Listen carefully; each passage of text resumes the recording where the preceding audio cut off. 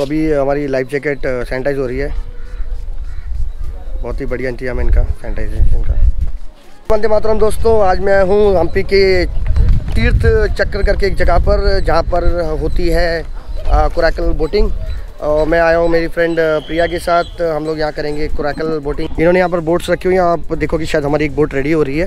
Charges हैं दो, एक आदमी का चार सौ रुपया, अगर आप आधे घंटे के लिए यूज़ करना चाहते हैं। अगर आप एक घंटे के लिए लेंगे तो सात सौ रुपया है और आगे कुछ तीर्थ स्थान है जहाँ पर आपको एक घंटे के लिए घुमा के लेकर आया, जाएगा। तो ये वो हमारी बोट है रेडी हो रही है।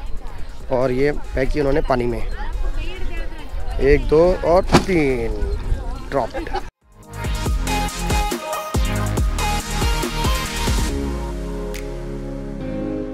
तो अभी हम बैठ गए हैं बोट में।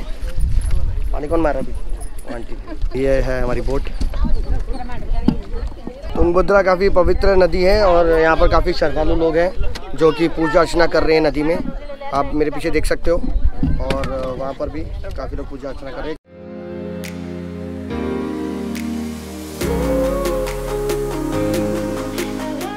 हमने प्लान थोड़ा चेंज कर दिया है। आधे घंटे के हमने एक घंटे की राइड बना दी है अपनी। एक हज़ार आठ शिवलिंग है, वो देखने जा रहे हैं हम लोग। तो अभी हम अपनी बोट से अलाइट हो चुके हैं और अभी हम बाई फुट जा रहे हैं। कुछ शिवलिंग्स हैं और कुछ मंदिर का कुछ है। चलो चल के देखते हैं क्या है वहाँ पर।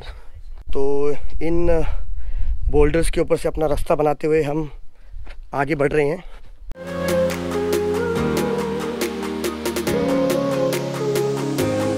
रास्ता थोड़ा सा डिफ़िकल्ट है। आपको थोड़ा ध्यान दे के चलना पड़ेगा।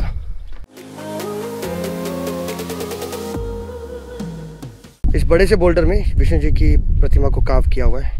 बहुत ही सुंदर तरीके से।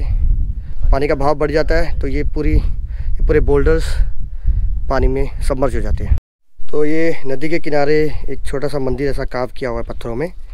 और, द्वार पे लक्ष्मी जी की प्रतिमा है और साथ में दो हाथी हैं तो इन्हें कहा जाता है गज लक्ष्मी और अगर हम थोड़ा झुक के देखें तो अंदर लक्ष्मी जी की प्रतिमा काव की हुई है। अभी ये हमारा पीछे वाला मंदिर देख के हो गया है। अभी हम आगे शिवलिंग की तरफ़ जा रहे हैं। वहाँ से रास्ता जाता है। तो एक ये बोल्डर है और इसमें यहाँ पर काली माता का काविंग है। बहुत ही सुंदर। पानी में ये बोल्डर्स के रहने की वजह से काफ़ी स्लिपरी है। तो आपको बहुत ध्यान से चढ़ना है इन पर नज़र हटी और दुर्घटना घटी जैसी बात हो सकती है। तो यहाँ पर दोस्तों 108 शिवलिंग यहाँ पर हैं। और लगभग हज़ार शिवलिंग वहाँ पर हैं।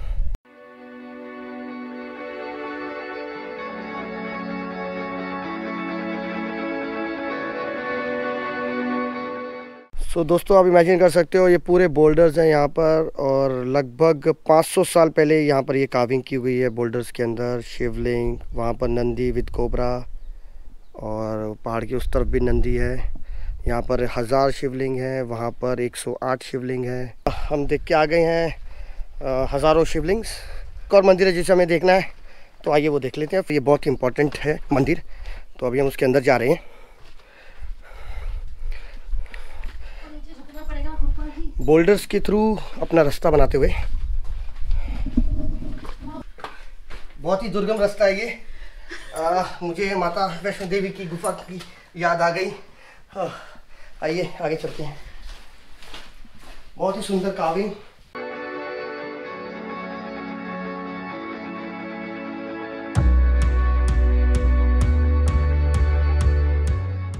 ये परशुराम जी की प्रतिमा है। मेरे पीछे अभी सूर्य नारायण मंदिर है तो आइए आपको लेके चलता हूँ। और यहाँ से अंदर जाते हैं। अंदर जाने के बाद अगर हम लेफ़्ट टर्न मारेंगे तो ये आप देख सकते हैं। गोल सा सूरज है और उसके आगे नारायण जी हैं तो ये सूर्य नारायण मंदिर है। ये भी पानी में सबमर्ज हो जाता है जब पानी का बहाव ज़्यादा होता है। तो आपको इस रॉक्स के इस पैच में से, इस बोल्डर में से झुक के आना पड़ता है। यहाँ पर बाहर आ गए हम लोग अभी। और अभी हम अपनी नाव की तरफ़ जा रहे हैं। थोड़ा सा मुश्किल और दुर्गम रास्ता है, यहाँ से हमें उतर के नीचे जाना है। तो दोस्तों, ये बहुत स्लिपरी और बहुत ध्यान से जाना पड़ेगा। स्लाइड करूँगा तो पेंट घिस जाए।